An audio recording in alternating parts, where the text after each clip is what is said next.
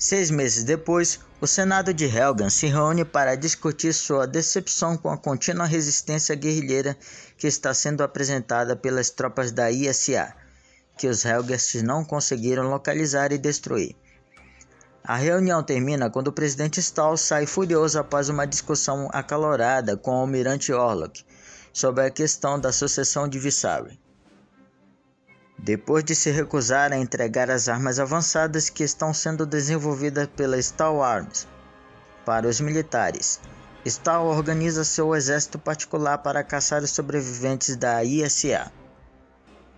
Na alienígena e perigosa selva Casna, Sev e Neville montaram um acampamento improvisado no qual um pequeno grupo de tropas da ISA está se escondendo. Depois de uma patrulha, escurece e o acampamento perde contato com Vecta. Sev e Corporal Kowalski se deslocam para o uplink de comunicações localizado no outro lado da selva. Lá eles descobrem que os Helgest descobriram a sua posição e que seu mundo natal, Vecta, intermediou um acordo de paz com o alto comando Helgan.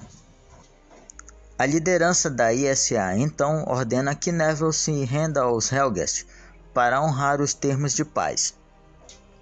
Perceber a rendição só leva à morte ou pior. Sev e Kowalski correm de volta ao acampamento e tentam impedir o ataque dos Helgest enquanto o resto dos homens evacua. No entanto, Sev e Neville são capturados quando ficam sem munição e todos os homens restantes encontrados são executados. Se está gostando do conteúdo, deixa aqui nos comentários. Curta, compartilhe com seus amigos.